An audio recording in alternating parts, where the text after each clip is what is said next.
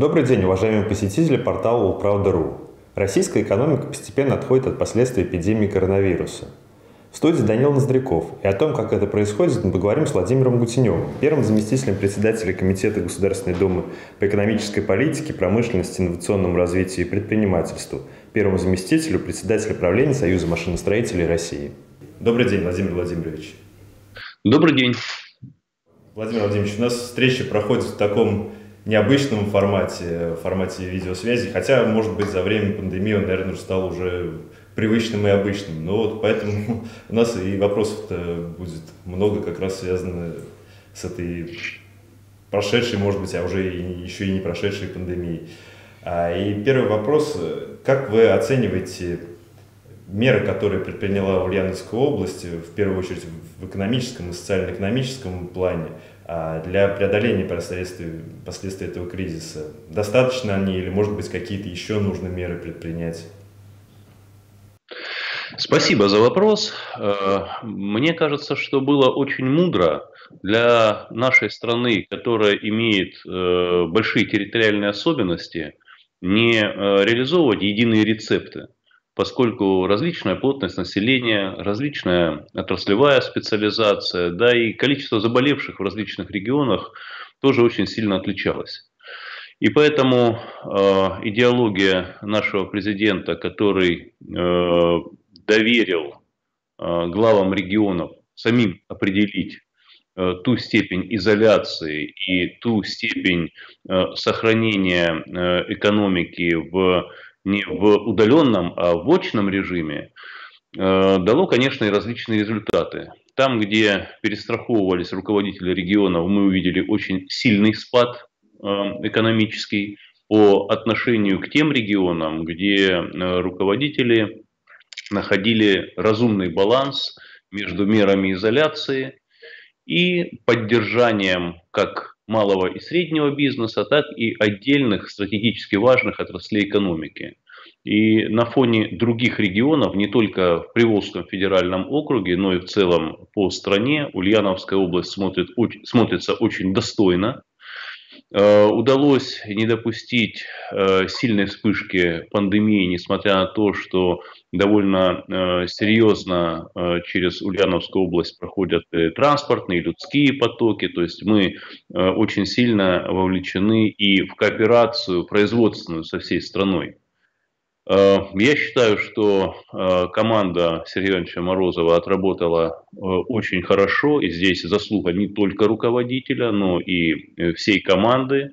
Низкий поклон, конечно же, врачам. Они, в общем-то, как и в большинстве регионов, ежедневно совершали подвиг.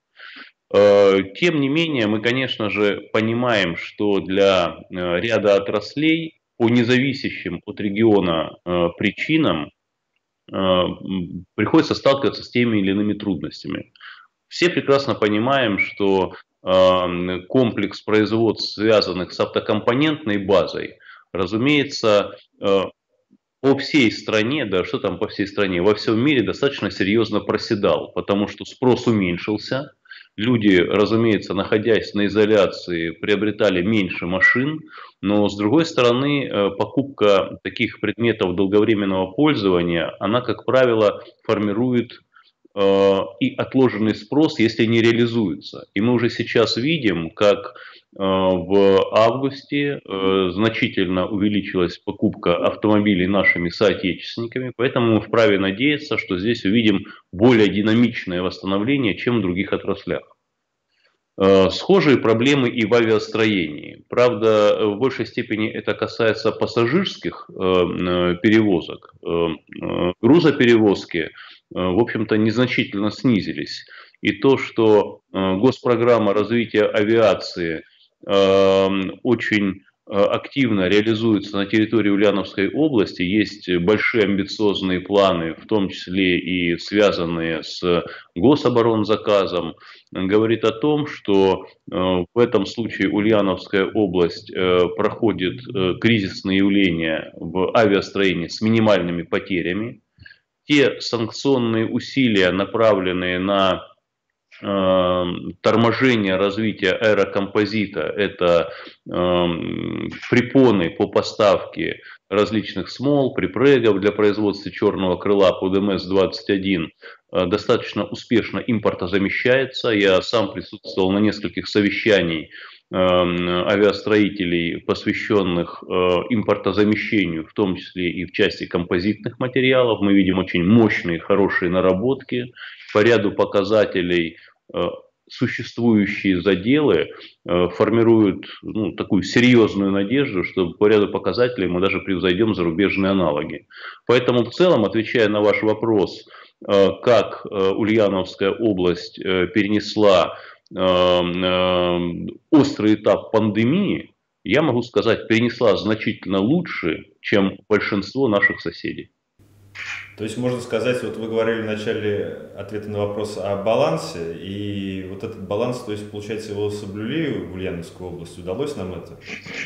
Да, я считаю, что, в общем-то, был найден разумный баланс между э, мерами изоляции и, э, опять же, сохранением тех производств, которые были стратегически важны с другой стороны, и мерами поддержки, поскольку наряду с мерами федеральными были и меры региональные. Но самое главное – это э, доверие бизнеса, готовность его по выходу из пандемии, из э, жесткой фазы пандемии, вновь вернуться к инвестициям. Считаю, что инвестиции частного капитала для нашей страны гораздо важнее, чем государственные инвестиции. А Ульяновская область за прошедшие годы заработала среди отечественных и зарубежных инвесторов очень большой кредит доверия.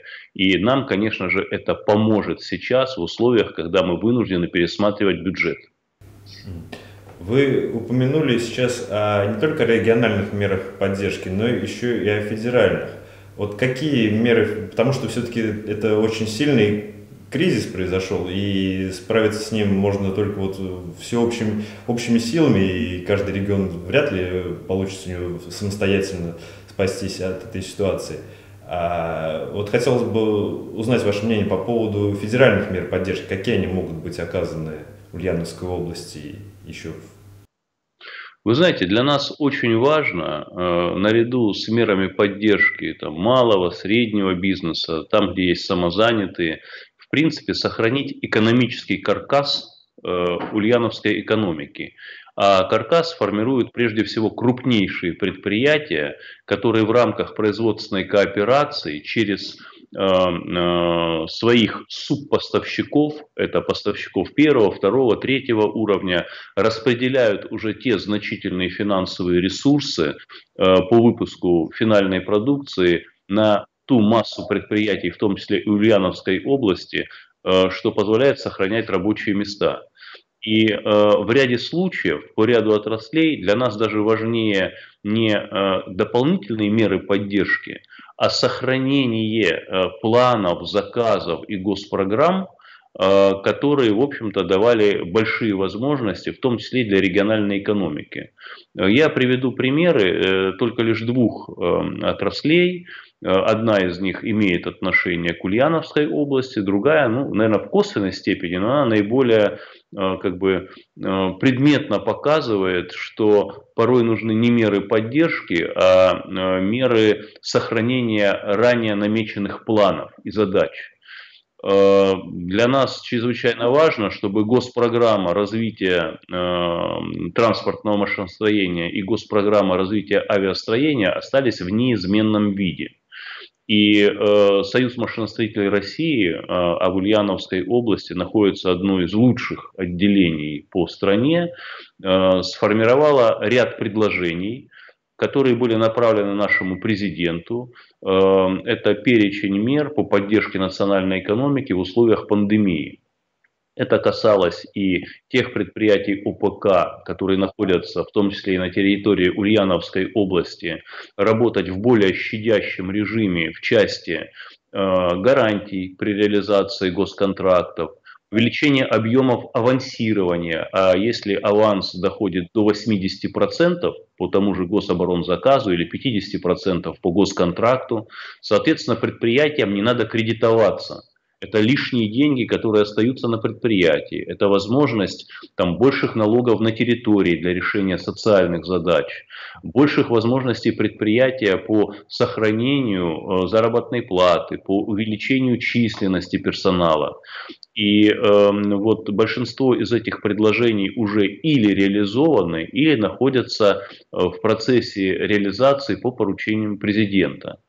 Э, был еще один пул предложений, это уже Лига оборонных предприятий направила эм, в адрес э, председателя правительства Михаила Владимировича Мишустина 46 предложений, которые касались поддержки различных отраслей, в том числе и авиастроения, но показательным примером является транспортное машиностроение. Это производство э, локомотивов, вагонов, оборудования для них – и если на территории Ульяновской области нет э, вагоностроительных или локомотивостроительных заводов, это еще не говорит о том, что мы не вовлечены в кооперацию. Поэтому для отрасли было чрезвычайно важно, что президент дал поручение сформировать Э, бонды на сумму более 300 миллиардов рублей для сохранения инвестиционной программы э, в транспортном машиностроении. Ну и, конечно же, традиционно мы считаем очень важно это снижать и э, издержки, снижать аварийность. Именно поэтому в столь непростое время было принято решение о стимулировании через Э, утилизационную премию, то есть вывод старого подвижного состава и э, э, стимулирование приобретения нового, более надежного, э, безаварийного. На это государство планирует выделять по 15 миллиардов рублей в течение трех лет. То есть меры поддержки можно перечислять очень долго, но я еще раз хочу заострить внимание на то, что э, меры государственной поддержки важны, но еще важнее тот инвестиционный климат, который есть в том или ином регионе, поскольку очень часто выбор определяется не преференциями налоговыми, не особыми экономическими зонами, которые, кстати, в Ульяновской области очень успешно реализуются, не э, бизнес-инкубаторами, а тем э, уникальным климатом, э, который любой коммерсант хорошо чувствует, когда он огражден от избыточного административного давления, когда его сопровождают в реализации его проектов там, на той или иной территории. И мы видим ряд э, регионов России, где э, весьма и весьма успешно и комфортно, успешно идут инвестиции, и бизнес себя чувствует очень комфортно. И среди таких территорий, конечно же, все эксперты отмечают, что э, наряду с Московской областью, Тульской областью находится Ульяновская область. В последнее время даже в ряде рейтингов э, общепризнанные лидеры, такие как, допустим, та же самая Калужская область, где много зарубежных инвестиций, порой очень нервно смотрят в сторону Ульяновской области, видя в ней своих конкурентов, потому что существенная часть э, и реальных, и потенциальных инвесторов, бизнесменов очень внимательно смотрят на Ульяновскую область. Такой авторитет зарабатывается не один год и стоит очень дорого.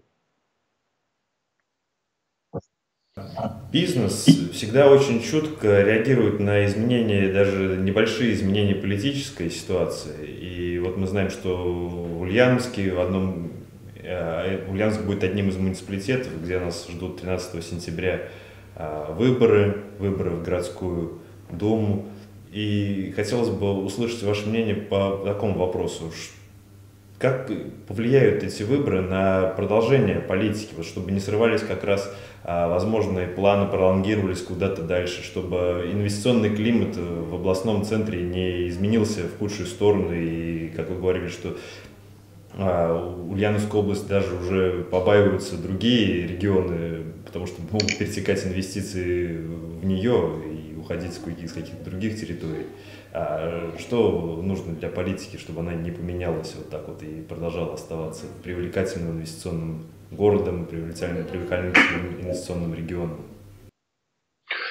На самом деле вы задаете очень глубокий вопрос, и я начну на него отвечать, эм, опять же, через некую иллюстрацию. Это э, как развивалась у нас в стране идеология специальных инвестиционных контрактов, так называемые СПИКи. Для любых инвесторов крайне важно, чтобы долго соблюдались правила игры. Потому что никакая экономическая модель, которую бы ты не просчитывал, э, не имеет права на жизнь, если постоянно происходят э, э, пересмотры правил игры.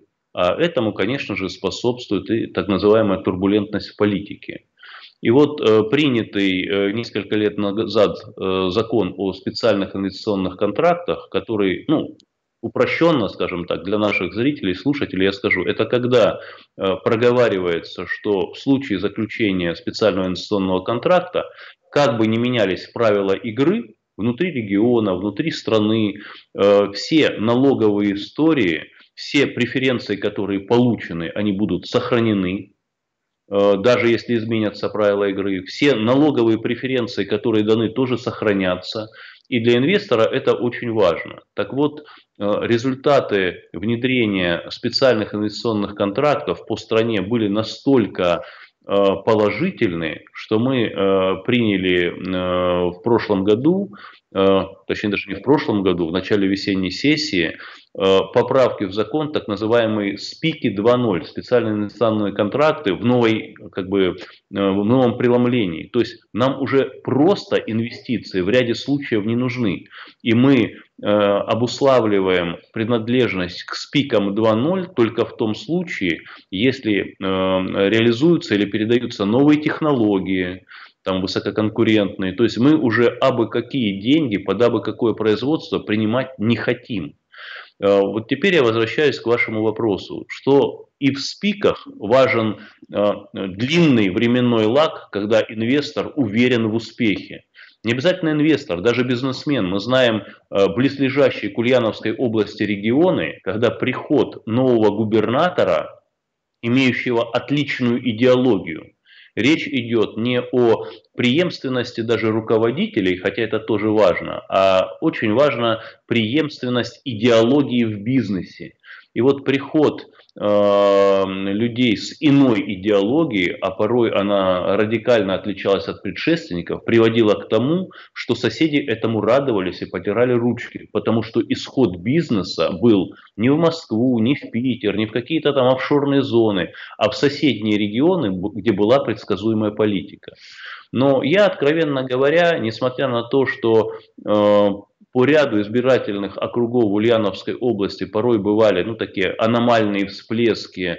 Э, тем не менее, очень высоко оцениваю интеллект жителей э, Ульяновской области. Всегда ульяновцы отличались э, и хорошим образованием, рациональностью, ну и, в общем-то, таким прозорливостью и умом. И поэтому, я думаю, любой обыватель прекрасно понимает, что даже если он не является бизнесменом, а просто работает на предприятии, э, прекрасно понимает, что от социальной стабильности, от политической стабильности зависит очень многое. Э, я сам сталкиваясь с тем, что по ряду направлений у нас имеются избыточные мощности в стране, при выборе, куда отдать контракты на федеральном уровне, на федеральном уровне э, госкорпорация ли, вертикально интегрированный холдинг, в состав которых входят десятки, сотни компаний, где есть схожие компетенции и схожие возможности, я, к примеру, возьму вертолетостроительную область. Но есть один и тот же вертолет, который выпускают Улан-Удэ в Бурятии и выпускают в Казани. И я хочу сказать, что в ряде случаев э, наряду с ценой, качеством, э, на выбор влияет и э, политическая надежность на той или иной территории. Э, мощности больше, чем требуется, и мы смогли в Ульяновской области затащить на себя в части авиастроения ряд компетенций с других территорий. Вот у нас производится, а в дальнейшем будет производиться значительно больше, в разы больше комплектующих для воронежцев, для ВАСО, Воронежское авиационное объединение, для Иркута, э, даже э, часть заказов э, таганрожцев Эм, соответственно, которые эм, выпускают и Б-200, и у них пойдет новый самолет дальней разведки на, вместо А-50, А-100 пойдет. То есть мы затащили на себя очень много таких компетенций и объемов и заказов, на которые есть конкуренты. Поэтому я абсолютно уверен, что не только бизнес, заинтересованный в стабильных условиях, но и работающие на заводе, наемный работающий, прекрасно понимает, что от э, того, насколько у нас будет стабильная ситуация и насколько они сделают правильный выбор, зависит и экономическая ситуация. Одно дело, если мы были бы нефтяным и газовым регионом, кто бы ни пришел, труба дает деньги. У нас же ситуация несколько другая. Э, в отсутствии эм, каких-то сверхвыгодных сырьевых запасов мы демонстрируем очень хороший э, и стабильный рост, рост инвестиций, объемов э, валового продукта. И в первую очередь, я в этом абсолютно уверен, происходит это благодаря и политической стабильности, и качеству человеческого капитала, который есть у нас на территории. Кстати, э, э, каким спросом пользуются ульяновские вузы э, не только среди абитуриентов, но среди крупнейших центров, а сейчас в стране формируется несколько научно-образовательных центров мирового уровня, и все хотят в кооперацию затащить к себе сильные вузы. Вот я хочу сказать, что ульяновские университеты в этом плане чрезвычайно востребованы. О чем это говорит? Это говорит, что у нас мощные э, университеты, э, существуют достаточно хорошие научные заделы и научные школы, то есть у нас очень хорошие перспективы в части конкуренции с другими регионами. Поэтому от выбора, который произойдет э, на избирательных участках вот в ближайшие дни, достаточно много зависит. Насколько экономически мы будем успешны, насколько э, э, сильна у нас будет безработица, как быстро будут расти зарплаты. Но я считаю, что здесь и агитировать не за что. Ульяновцы очень, э, еще раз говорю, умные э, и прагматичные, и поэтому я абсолютно уверен в том, что выбор будет правильный. И еще о долгосрочных проектах, о национальных проектах, которые у нас э, воплощаются в жизни в стране. А пандемия коронавируса повлияла на них, на их выполнение, повлияло ли на их выполнение в Ульяновской области, не приведет ли это к тому, что на них, на, особенно на какие-то социальные про, про проекты, связанные с демографией, здравоохранением, может выйти так, что финансирование будет урезано и отправлено на другие отрасли? Ну, я думаю, что э, абсолютно всем э, телезрителям понятно, и было бы странно э, говорить им обратное, конечно же, повлияет.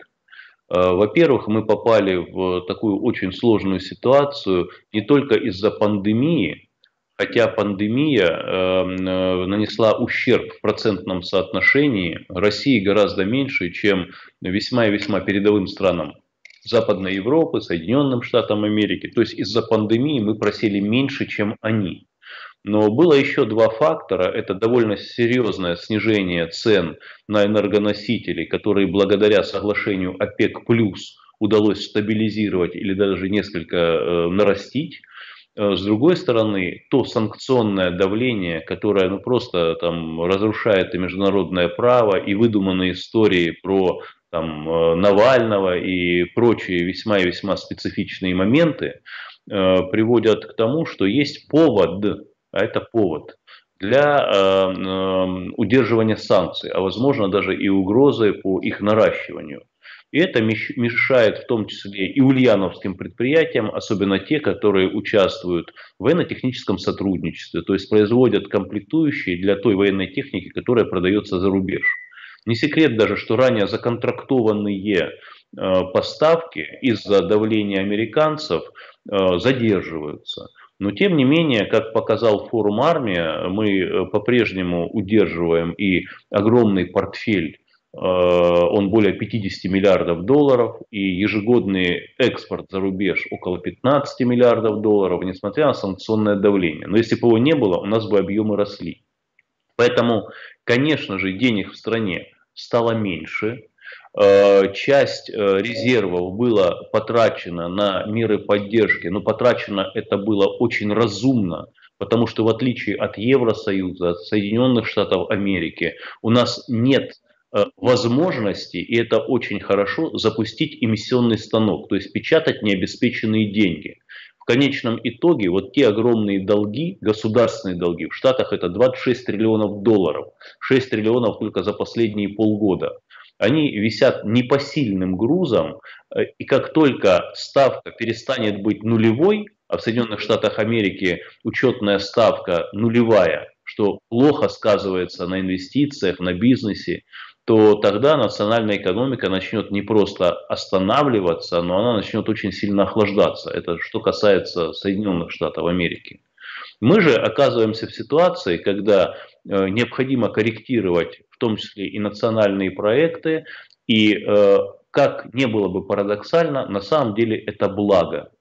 Вот э, очень важно э, тратить деньги эффективно. Если вы помните, полгода назад, год назад и президент, и премьер говорили о том, что э, не все запланированные на нацпроекты средства осваиваются, и не все осваиваются эффективно. Об этом говорила и счетная палата.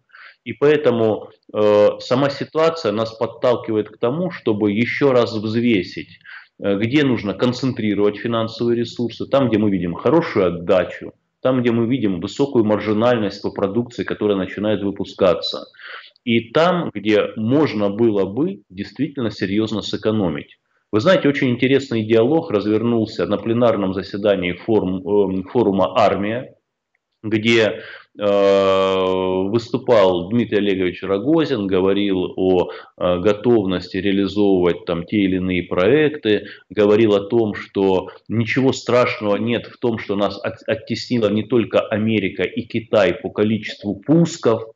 Вы знаете, вот э, я с Дмитрием Олеговичем согласен, взвешивать успех космической индустрии от того, сколько мы вывели полезные нагрузки на орбиту, сколько мы сделали пусков, не совсем правильно. Э, доля в общем космическом пироге пусков составляет всего 4,5-5%. А остальные деньги зарабатываются на полезной нагрузке, на э, навигации, на телекоммуникации, на дистанционном зондировании Земли, на различных услугах. И э, я абсолютно согласен с Дмитрием Олеговичем, что по пускам мерить нельзя. Но меня, в общем-то, в какой-то степени обрадовало то, что правительство считает необходимым значительно снизить э, э, объемы финансирования госпрограммы по космосу. Причем это снижение по всей госпрограмме будет более 100 миллиардов рублей. И почему я согласен? Согласен потому, что можно заниматься непрофильными инвестициями тогда, когда у тебя по основному направлению деятельности хорошие результаты. Вот есть корпорация Алмаз Антей, которая выпускает С-300 ПМУ, С-400, С-500, которые как горячие пирожки прямо со сковородки зарубежные покупатели готовы схватить и сразу там, не дав остыть, э, кушать, чтобы их не отняли. Мы видим, что и Китай, э, и Китай, и Индия, и Турция, ряд других стран хотят видеть у себя эти комплексы, причем в большом объеме. Но тем не менее, эм, Алмаз Антей э, очень продвинут и поставляет очень много оборудования гражданского, в том числе в организации воздушного движения, в аэронавигации. Поэтому у меня возникает вопрос, когда Роскосмос, э, не демонстрируя ярких каких-то больших достижений, да, проектов много, заявлений вот тоже хватает. Но когда Усть-Катаевский завод начинает увеличивать объемы выпуска низкопольных трамваев, конкурируя с другими заводами, и туда идут инвестиции, когда э, аппараты ИВЛ, искусственной вентиляции легких, которые выпускает только Ростех на четырех площадках, плюс еще Росатом, другие компании, вдруг начинают осваиваться Роскосмосом то, конечно же, у меня, как и у представителей счетной палаты и правительства, возникают вопросы, правильная ли фокусировка, на том, бы, на том ли э, эта отрасль сейчас э, концентрирует свои возможности. Я это привел как пример, что э, будет, будет довольно серьезный пересмотр в нашу осеннюю сессию по бюджету следующего года и по нацпроектам.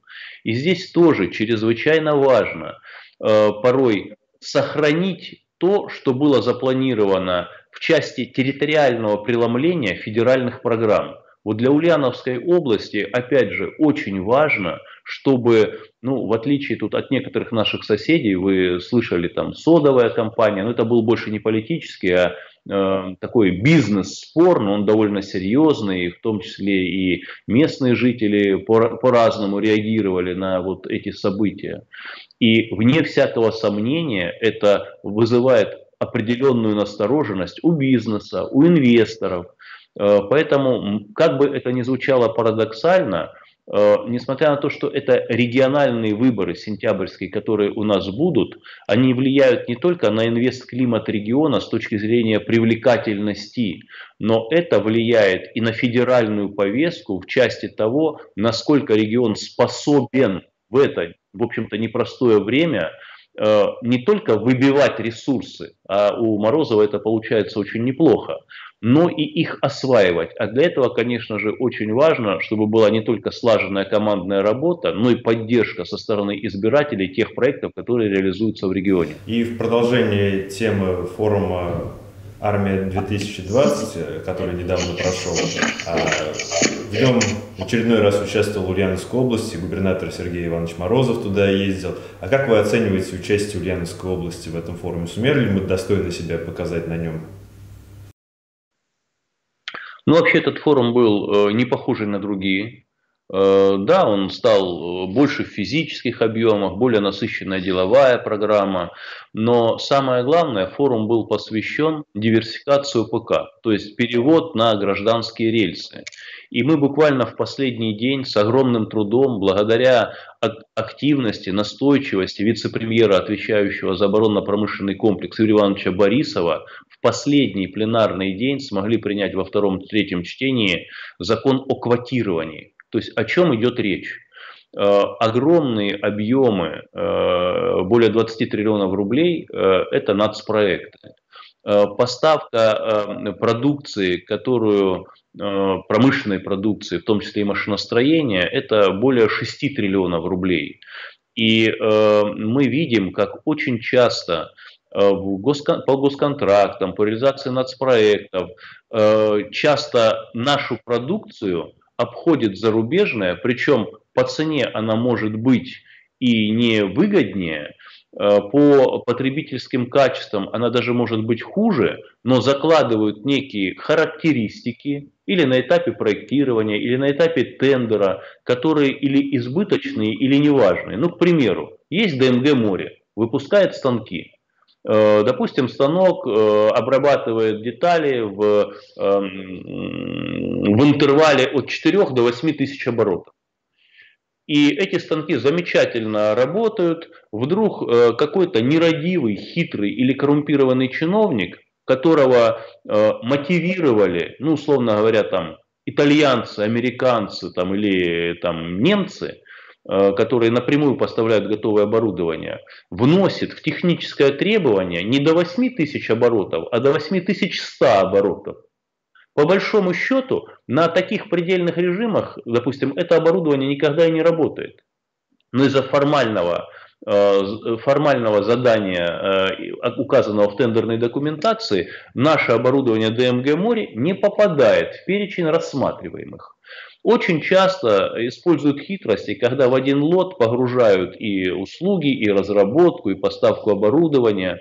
Так вот, закон о квотировании очень четко говорит, что правительство обязано составить перечень российской продукции, и при, и при наличии российского эм, э, оборудования ли, э, там, машин ли, механизмов, ну, готовой продукции, э, э, которая является отечественной, госкомпании, государства, муниципалитеты не смогут покупать зарубежное. Вот на самом деле мы повторяем успешный опыт Соединенных Штатов Америки. В 1933 году был принят закон, он назывался так «Покупай американское, нанимай американцев». И если какой-нибудь американский чиновник за бюджетные деньги приобретет продукцию из любой другой страны, даже входящей в НАТО, и есть альтернатива американская, то он и дня не усидит на своем месте, а возможно еще и сядет в тюрьму. То есть э, Юрий Иванович Борисов, э, он как вице-премьер курирует и промышленность, и оборонно-промышленный комплекс, и энергетический комплекс. А в энергетическом комплексе очень много тоже приобретается, к сожалению, оборудования за рубежом. Это и резервные электростанции, которые используют нефтяники, которые успешно могут выпускать наши предприятия, и различное оборудование. Так вот, э, Юрий Иванович сказал, что по его оценкам и оценкам экспертов принятие закона, э, э, вот, который мы приняли в последний день весенней сессии о, о квотировании, только принятие этого закона способно дать объемы производства нашим предприятиям на 1,6-1,7 триллиона рублей. Сумасшедшие деньги. И, конечно же, э, я должен сказать, что помимо тех предприятий, которые приняли участие в выставке, очень много экспертов из Ульяновской области принимали, э, активно работали на деловых площадках, где как раз вырабатывалась стратегия. Стратегия и э, изменения законодательства, в том числе и в области закупок, и э, стратегии развития тех или иных отраслей. Это были и представители предприятий, и были представители э, университетской среды. Еще раз говорю, в Ульяновске очень сильная профессорская преподавательская школа. Ну и, конечно же, ряд предприятий, которые традиционно принимают участие, это HitLab, Металл Композит, э, ряд других компаний, Агапов студия. Э, они принимали традиционно участие в выставках. Я сам подходил на некоторые стенды, видел большой интерес, э, большое количество переговоров. Ульяновцы традиционно сильны в области тренажеростроения, в том числе и для э, предприятий УПК, поставляющих свою финальную продукцию. Ну, скажем так, интеллект не заржавел, поэтому у нас все хорошо и мы востребованы. То есть форум для Ульяновской области, на мой взгляд, прошел очень и очень успешно. Ну и, конечно, то, что э, губернатор в рамках этого форума налаживал контакты с крупнейшими производителями, предлагая территорию для инвестиций, затягивал заказы, это тоже, конечно же, для нас интересно. Чем больше придет к нам э, заказов, чем больше придет денег, чем больше придет заявок на НИРы и НИОКРы для наших вузов, тем ну, лучше мы будем жить. Мне кажется, это все очень, очень очевидно. И летом прошел еще один форум, а, и тоже в несколько ином формате, чем прежде. Это инженеры будущего, которые как раз Союз машиностроителей Э, устраивает. И Ульяновская область тоже в нем участвовала. И по некоторым категориям да, тоже неплохо себя показал. Например, Мисс Форум э, от Это уже опережая немножечко ваш ответ, да. А, и хотелось бы вот э, услышать от вас, как вы оцениваете участие Ульяновской области в этом форуме и в общем, и в этом году? Вы знаете, ну, э, форум, он такой у нас, как цыганский табор, он кочует по ведущим э, промышленным городам нашей страны. Это и Иркутск, и э, Оренбург, и Ульяновск, и Миас, Челябинск, и Ижевск, и Уфа. То есть, в принципе, такой действительно веселый, молодой задорный цыганский табор, где помимо образовательных сервисов, в этом году более, было более 20 факультетов, Э, насыщенная деловая программа, очень интересные лекторы, э, в том числе из-за рубежа. Э, и в этом году мы впервые из-за пандемии вынуждены были проводить его в основном в дистанционном формате. Конечно, в этом есть большой минус. Когда ребята вечерами после напряженного дня, там, сидя у костровищ, да, там, между палатками, Э, там поют песни, знакомятся, дружат. Конечно, вот виртуальное общение этого не заменит. Но удаленка дала нам возможность привлечь гораздо большее число участников, Э, очень мощных э, спикеров, лекторов. Э, в этом году мы впервые давали мастер-классы известных, в том числе и театральных деятелей, а для бизнесмена или да даже просто для руководителя среднего звена очень важны Э, навыки коммуникации. То есть ребятам было безумно интересно. Мы по-прежнему их рейтинговали, и их, и команды. И должен сказать, что Ульяновская область всегда среди других регионов держится ну, в такой верхней половине, я бы даже сказал, там, верхней трети или верхней четверти участников. Э, ульяновцы участвуют, ну, эм, в первую очередь, вот я даже взял э, такую шпаргалку, чтобы привести абсолютно э, четкие данные. Э, во-первых, ну, Ульяновский госуниверситет традиционно участвует и неплохие набирает баллы. Э, завод «Искра», Кретовское предприятие Ульяновское конструкторское бюро приборостроения, Государственный технический университет. Но лучше всего, правда, в составе общей команды.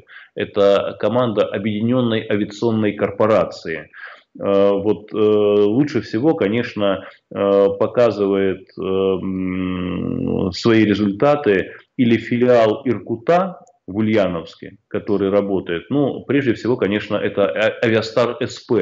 В этом году Авиастар делегировал 15 участников, и объединенная команда заняла очень высокое третье место. В этом году впервые первые и вторые места заняли не предприятия, а университеты. И поэтому в той борьбе, которая сейчас идет за то, кто в следующем году примет, какой город, э, какой областной центр примет форум, э, это тоже очень важный аргумент, э, поскольку э, активно претендуют и, и воронежцы, и тулики, и ряд других регионов. Сейчас у нас уже 17 заявок от регионов, и в ближайший месяц мы примем решение, где будет этот форум проводить. Но если мы возьмем 18 э, и 19 годы, то Ульяновская область чуть-чуть, там незначительно, но ухудшила свои позиции. Зато то, что касается э, такого развлекательного конкурса «Мисс Форум», то здесь я должен сказать, что Ульяновская область, ну, во-первых, э, в финальную часть делегировала сразу несколько человек. Во-вторых, э, одна из участниц э, ну, стала там, безусловным лидером. Ну, в общем-то, наверное, и для ульяновцев, и для всех жителей Поволжья не секрет, что красивых девушек – и причем не только красивых, но и умных, э, получивших э, сложное профессиональное образование и работающих по профессии в Ульяновской области, ну как и сопредельных областях. Не могу сказать, что там, в Самарской области намного меньше, но в этом году ульяновцы, конечно, всех удивили умом, красотой, обаянием, и, наверное, это такая красивая нота, на которой э, закончился форум, и Сергей Иванович Морозов каким-то невероятным образом это узнал чуть раньше меня. Где-то у нас утекло, видно, в системе голосования. Вот, и я не успел его поздравить вот с этим хорошим результатом, как он мне позвонил, говорит, да, я знаю, наши девушки лучше всех, самые красивые. Но тут, в общем-то, сложно спорить, и можно порадоваться только за ульяновских мужчин. Будем надеяться, что это повлияет на место проведения будущего форума. Ну, я очень надеюсь, это повлияет на демографию. И на это тоже. У нас День семейного общения уже скоро, накануне как раз выборов в городскую думу, может тоже. Хорошо, Владимир Владимирович, большое спасибо вам за интересный Удачи вам, всем телезрителям, не болейте, и пусть будет всегда хорошая, высокооплачиваемая работа.